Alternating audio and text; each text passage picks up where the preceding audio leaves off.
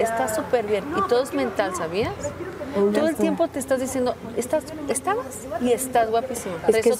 El día de hoy, en la casa de los famosos, Mariana confiesa que ya había conocido a Bebecita, ya que ella asistió a una fiesta junto a Vicente, y Bebecita menciona, sí, antes estaba más bella y delgada, con lo cual Mariana menciona que no se tiene que estar minimizando, que todas están en su mejor momento y que realmente sigue siendo bella, que no ha cambiado y que tiene que valorarse tal como es. Bebecita menciona que antes pues se cuidaba más, se preocupaba más y hacía distintas cosas para mantenerse bella. Pero lo que es Mariana dice que no, que simplemente hay que cuidarse en cuanto usar mascarillas, tiene que hacerse prácticamente tratamientos para la piel y tener que cuidar pues lo que consume, pero que aún así ella es bella y no hay por qué minimizarse.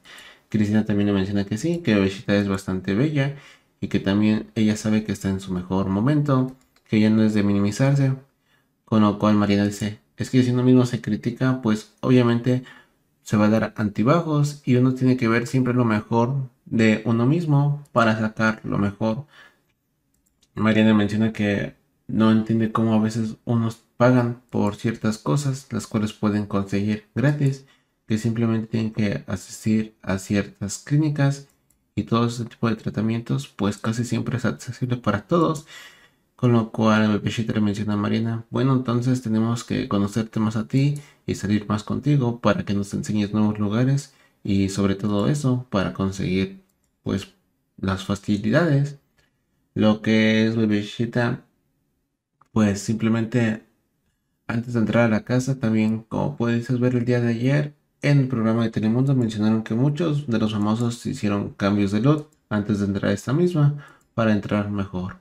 Como sabes, Bebechita ni siquiera tenía el cabello de color azul y algunos otros pues también se hicieron ciertos detalles estéticos para mejorar la imagen. Además de esto, ya se está viendo que en la eliminación de hoy, Cristian Estrada será eliminado, ya que ayer en el posicionamiento, pues muchos de los que estaban votando se dieron cuenta que sí, que lo mejor es que Cristian se vaya, así que acumuló más puntos de los que tenía.